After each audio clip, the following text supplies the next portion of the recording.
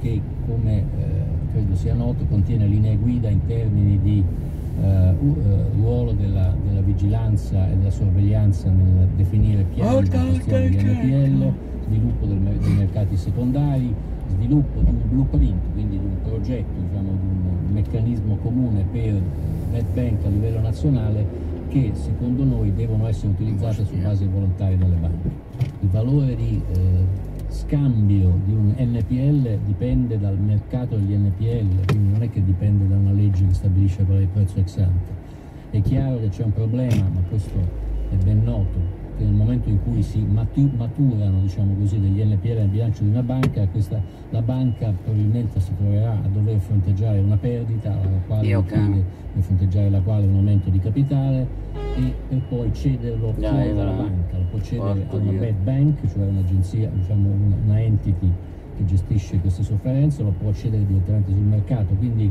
non mi pare che ci siano dire, regole che dicono quale debba essere il prezzo di cessione di uscita dal bilancio di una banca. C'è enfasi, e questo mi sembra molto importante, sulla sì, creazione di meccanismi di mercato che permettano di identificare il vero valore di scambio di queste sofferenze così che queste sofferenze poi escono dal mercato e quindi eh, alleggeriscono il bilancio. Ma Dio porco, non devo andare.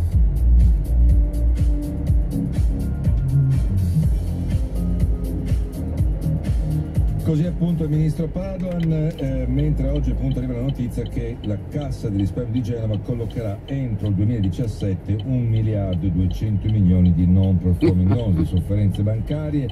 La Banca Italia fa sapere che le sofferenze sono in leggero calo a maggio, 202 miliardi, ma non, ten, non tiene conto questo dato di 50 miliardi in meno che arriveranno dalle banche di Monte dei Paschi e delle banche Venete, Moria Longo del Sole 24 Ore, buonasera. Buonasera. Moria, la domanda è molto semplice. Dopo diciamo, il via libera di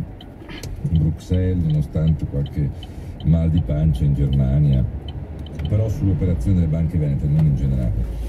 possiamo dire che insomma, si va verso la discesa e non ancora la salita sul fronte delle sofferenze bancarie e quindi quello che sta zavorrando, secondo le banche, spesso hanno ragione,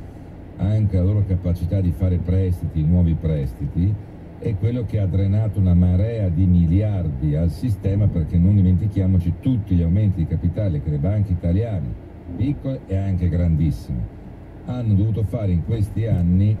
perché eh, svalutando le sofferenze, cioè svalutando i, i, soldi che tu pensavi di poter riavere da, dalla persona o dalla, dall'impresa a cui li hai prestati,